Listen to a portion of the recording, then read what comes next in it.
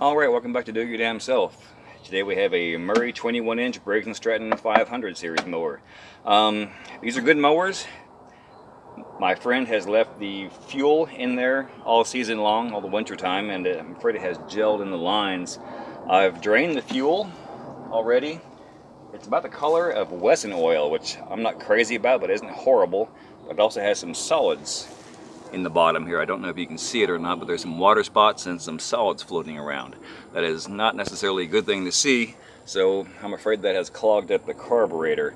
So first thing I'm going to do, after I've drained the gasoline, just let that dry, put some fresh gasoline in there, spray the carburetor out with Gumout carb cleaner or any other carb cleaner you have. Um, let it sit a while, put some fresh fuel in there, see what happens. Worst thing will happen is it'll not start. I'm not going to put much in here. This is much more clean and white looking than the fuel that I took out of there. Hopefully just some fresh gas and uh, a little TLC will do the job. Before I try to start it, I'm going to check the spark plug to see if it's clogged up and the oil over here.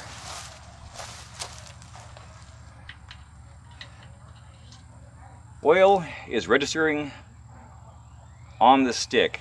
It does not look terribly dirty, but not terribly clean either. After I get this thing going, we're going to uh, change the oil out before we just let it go for the season here. So that looks pretty decent. Taking the spark plug out to look at it.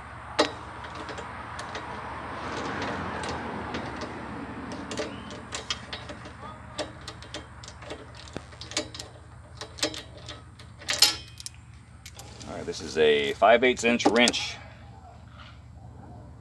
that spark plug looks clean. I don't see a thing wrong with it. I'm going to try to take a little bit of that carb cleaner and spray it off. If there's any water on this at all, it will not spark well. So make sure this is dry and clean.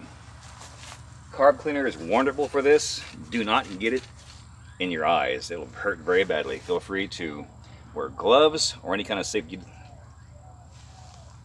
device you might want to use. It won't take much at all. Okay, let that dry.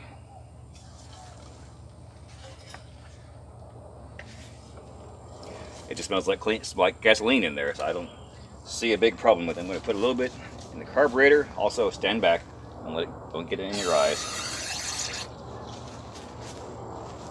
Let that settle and then drain it by tipping it this way.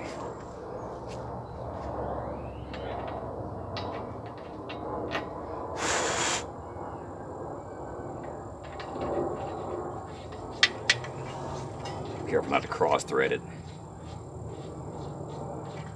If it doesn't go in easily, pull it out and start again.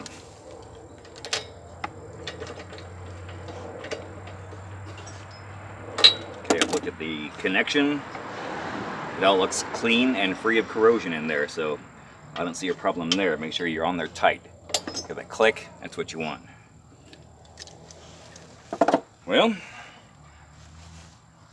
replace the air filter if needed. This one hasn't really seen any wear at all, so it's fine to use. It's a good idea to change these every season or so, but uh, make sure they're free of dust, like, like you see here. Put it back on there.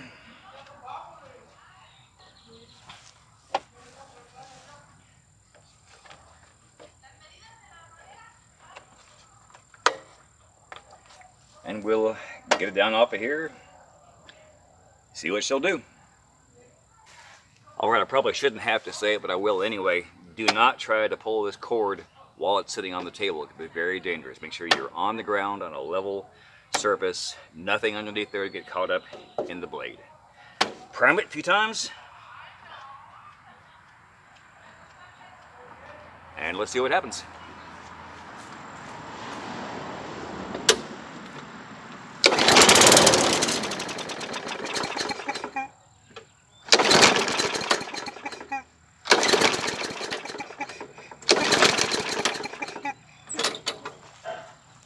Okay, after spraying the carb cleaner in the carburetor, it wanted to start.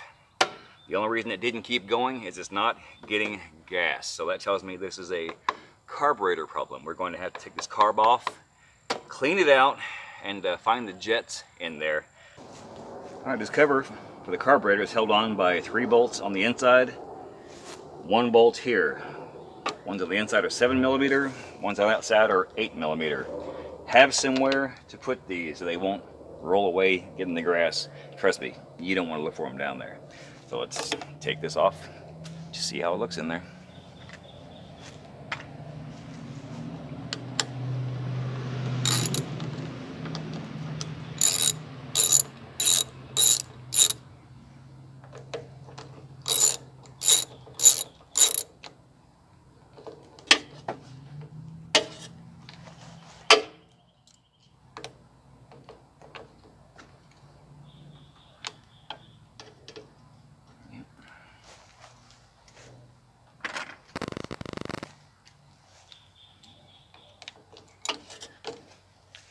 Right, so correction, one of the bolts on the inside is an 8, as well as this one right here. Things just can't be simple anymore, can they?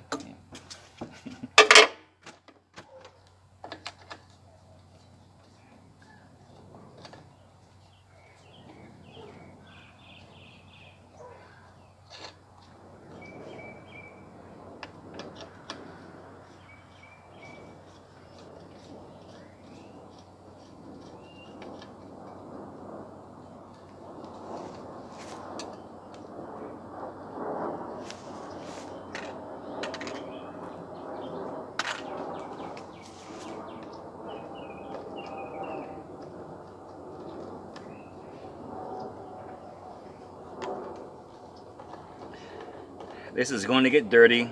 You're going to get some fuel on your hands. If you like, wear some rubber gloves.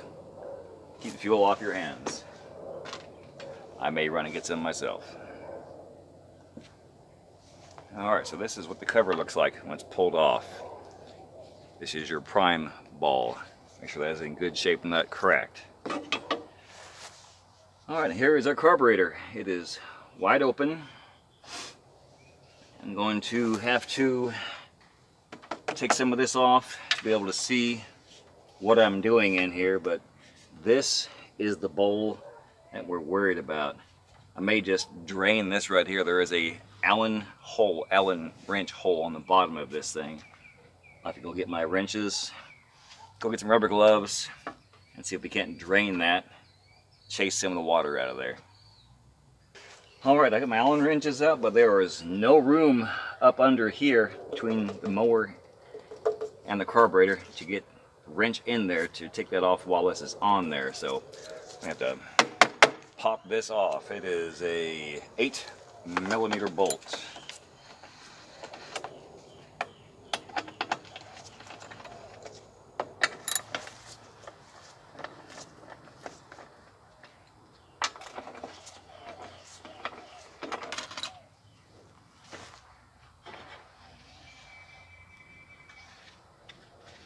just set that out of the way.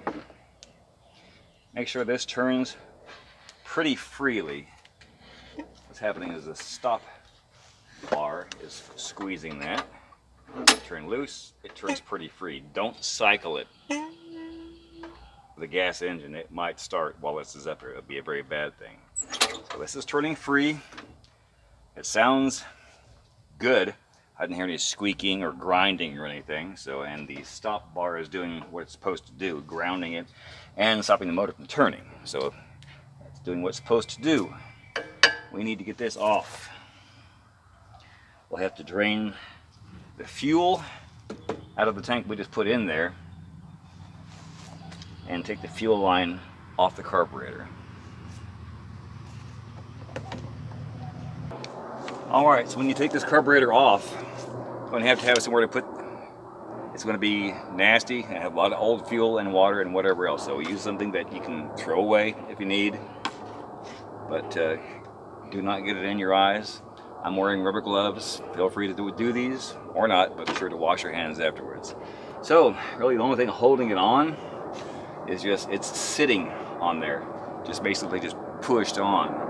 When I reattach it, I'll put a little plumber's grease around there to help seal that so it makes a better seal on there. That could be an issue is getting air in the sides of the carburetor.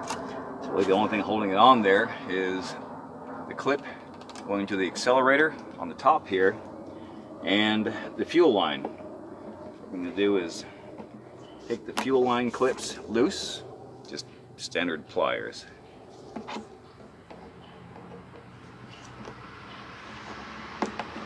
Pull it back, it will just pull off of there. Pull it out.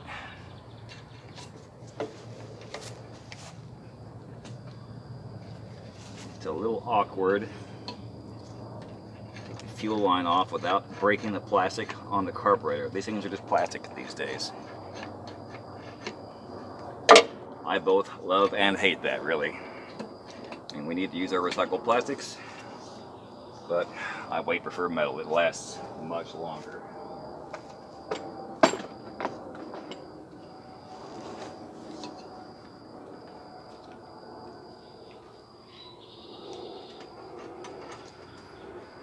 on there for a while, we have to just pry it loose.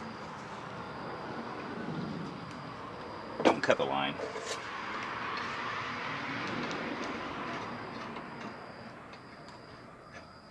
Okay, and there will be some gasoline in there, so it'll make a mess.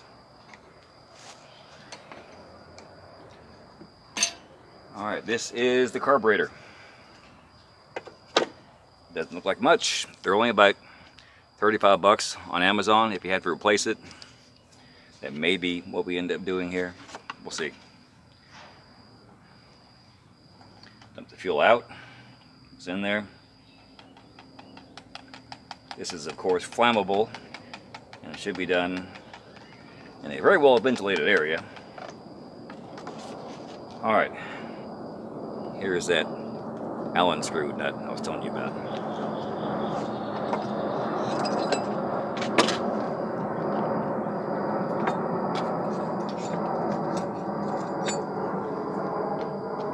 nine millimeter Allen screw. Comes right off. And there's a good bit of, yeah, some of the kind of gelling that I saw in the fuel. Little, basically look like little tapioca pudding bits on there. So I'm to open this up. We'll spray that out. Be careful. There are things in here that will get lost. There are springs and needles you need to be very careful of. So, careful.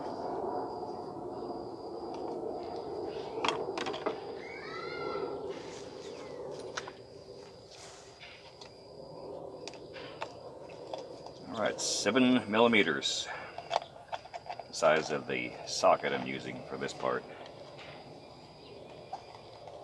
There will be an O-ring on here. It may be torn. They are cheap to replace.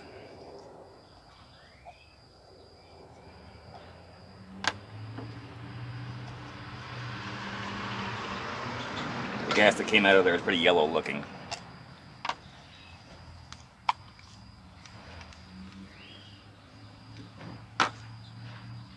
Alright, so here is your float what happens is the bowl, which is this, fills up with gasoline.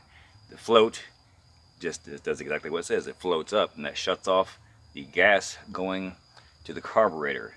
And when it drains down enough, the gravity-fed gas tank will put more in there and feed it and it'll just keep on going. If it's a healthy carburetor, it will just keep on going. So what we're going to do, spray out everything in here.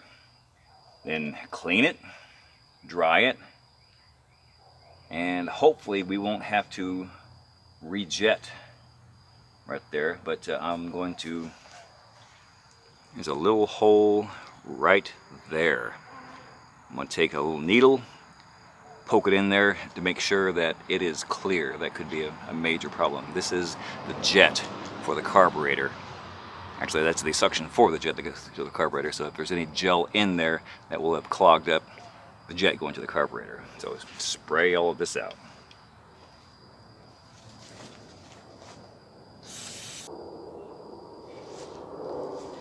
Bring that into the garbage can to make sure it didn't kill my grass because it will.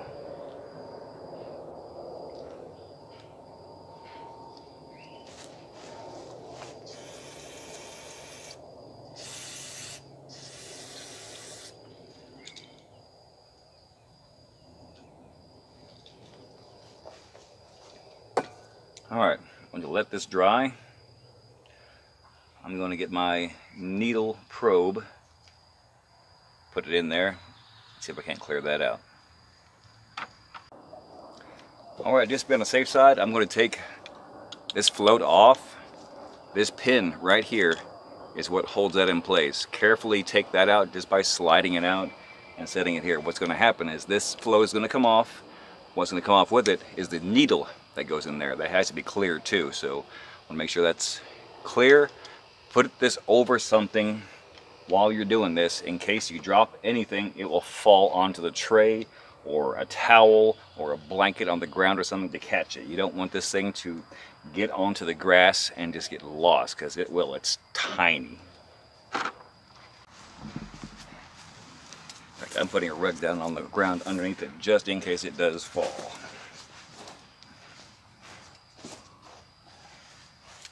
Never hurts to be overly prepared.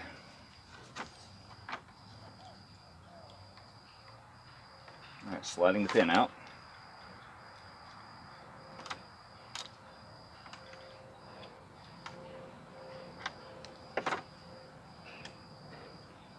This is the float, this is the needle I was talking about. This little guy right there. Make sure it is clean and free of gunk. Don't lose this. Alright.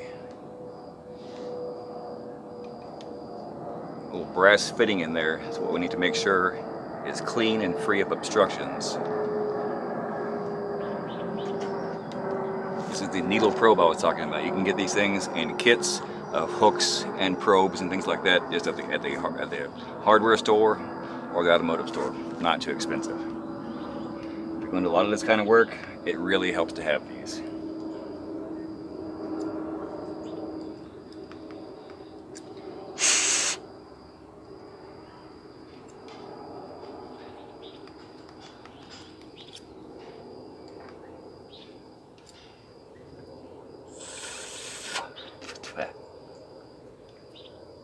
That tastes bad, don't swallow it.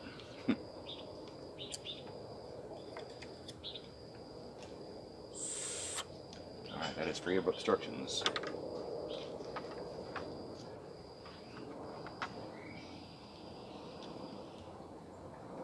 The top of that see little nail head slides into that slot right there. Just like that, and it dangles. Make sure this goes back in that hole that we just cleaned out.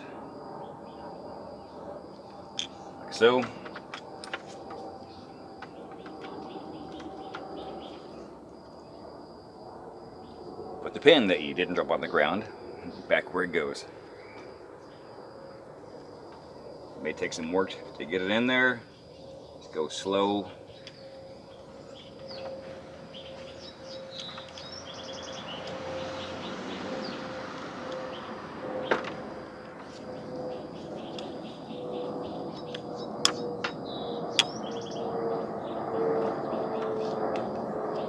Just like that. Okay. Make sure all of your rubber fittings and the gaskets are clean. No dirt on them. I'm not going to put any silicone on that gasket because it has got to do with the fuel section and I don't want any kind any kind of things to gel inside the lines in there.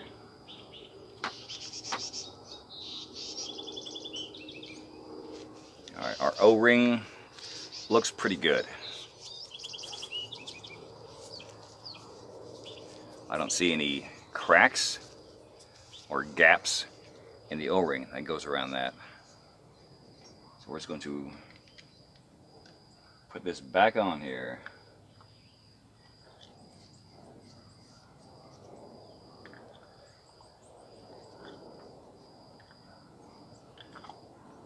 There is only one way it goes on there right. See the nozzle on this thing? I'm about to clean it out here.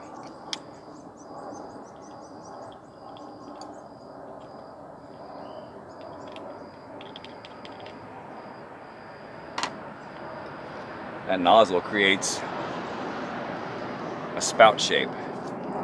This square on here, see that? Goes right over that. That's why it's there, and it's there to give that some space there. That this is what sucks the fuel in. This is the lowest part of the fuel bowl on this thing. That's why it does what it does. Gasoline goes in there, and that's the lowest part. So only when it runs completely out of gas will this thing shut off. Right over the top of it. Careful, don't pinch your O-rings.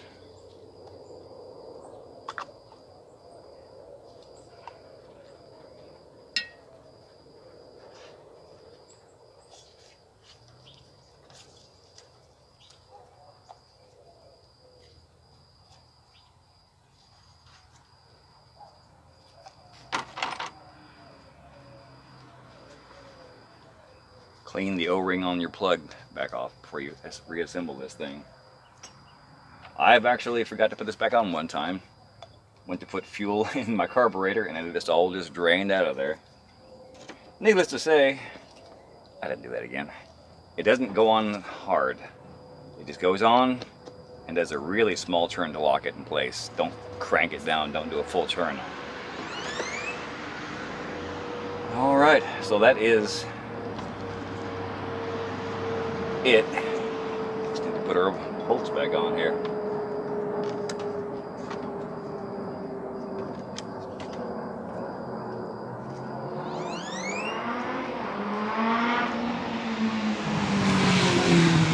I can't stress enough, do not pinch your O-ring in there. It will get it will tear really easily. And if you don't create a good seal there, you'll leak and it will not work properly.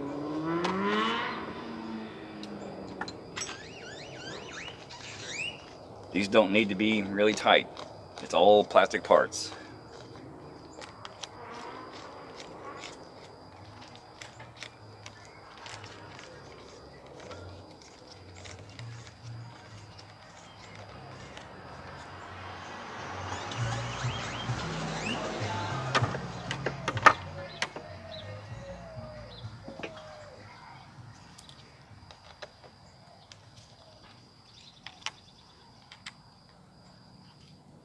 Seven millimeter, not the eight.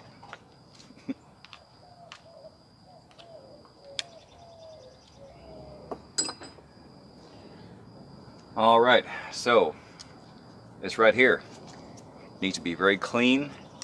And what it's going to do is it's going to go on a little stem right here. There are O-rings on there. The O-rings fit up inside here. What I'm going to do is put a little plumber's grease on those O-rings. It has nothing to do with the fuel, it's only to do with air. So putting a little silicone grease on there won't be a problem. If you've seen my plumbing video, you'll know I love this stuff. It comes in so handy. Don't get any in the carburetor, just get it around that stub.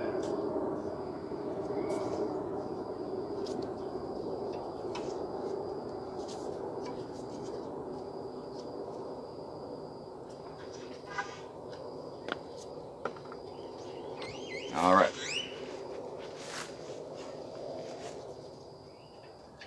This is the accelerator control. It goes on, this little guy right here. This turns. I don't know if you can see it or not, but it's your choke. Get that into the hole.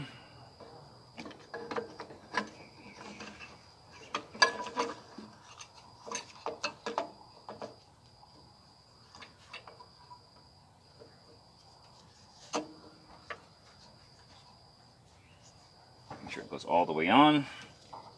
Seated right. Reattach your fuel line.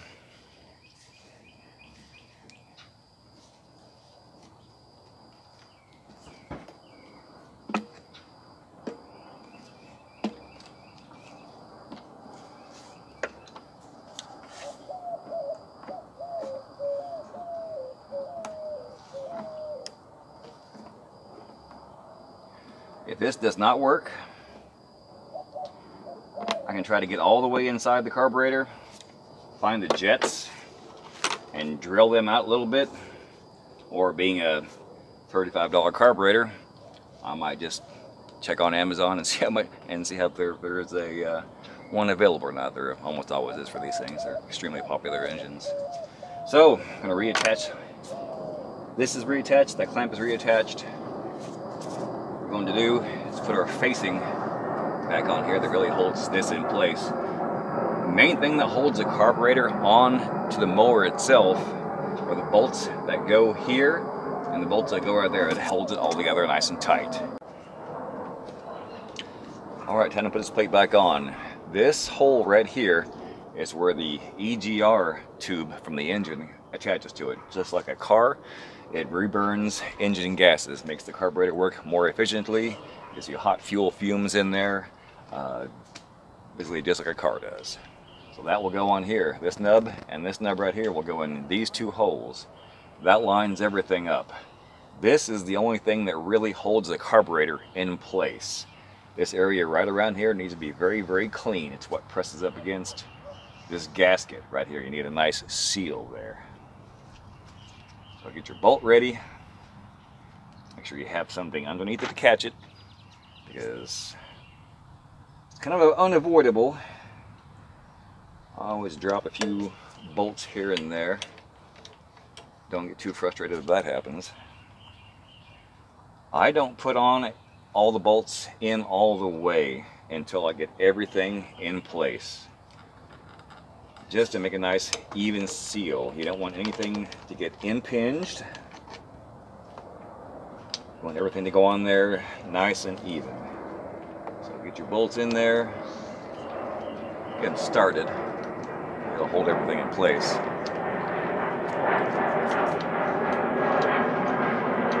Don't cinch it all the way down. Just, just this side of hand tight. To line up. If it doesn't line up, you can always move it just a little bit before you cinch everything down.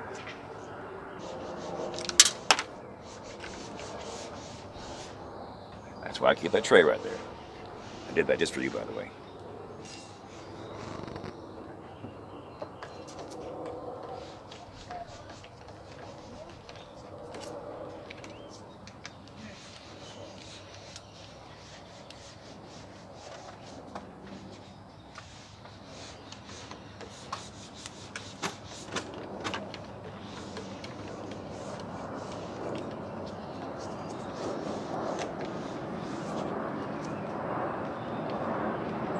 Holes don't always line up just right right away. That's why I leave everything just a little bit loose.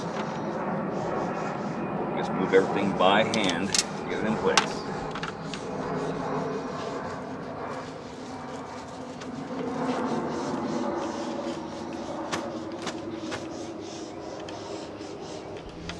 All right, your full bolt, four bolts are in place. Go ahead and tighten everything down, just hand tight.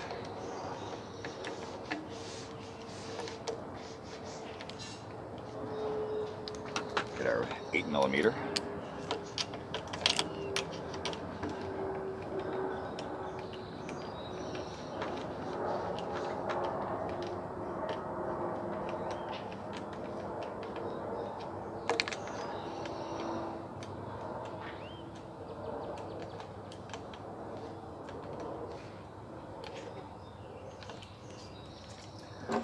Snug everything down. Don't get it too tight. These plastic parts will strip. Once you get everything just a little bit snug, that's really all you need.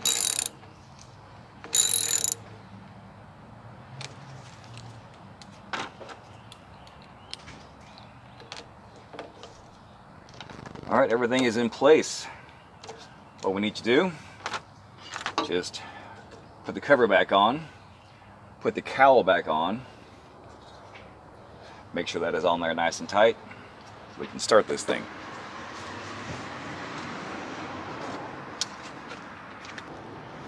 All right, the cowl is back on.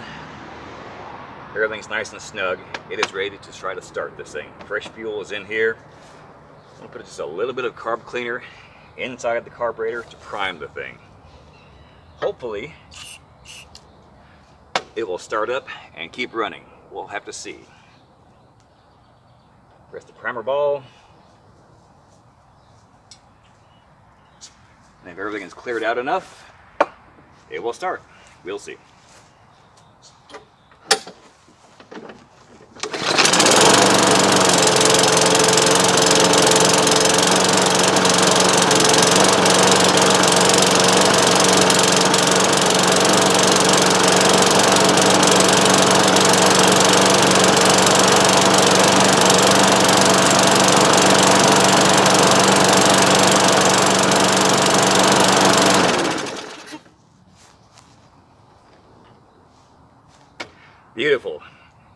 Started up right away. The problem was apparently just a fuel issue inside the carburetor. Fuel gels when it gets cold. It forms those little bitty particles that we saw inside the gas over there.